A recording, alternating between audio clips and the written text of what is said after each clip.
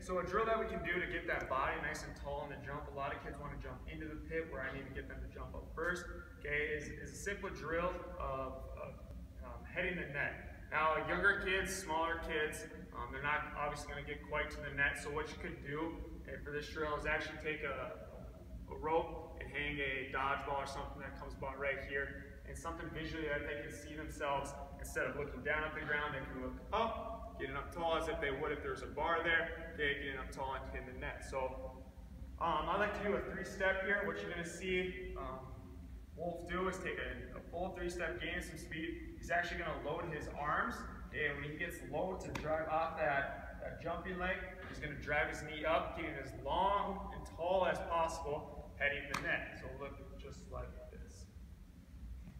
One, two, three, load, jump, and land. Good. Let's have Wolf reset for one.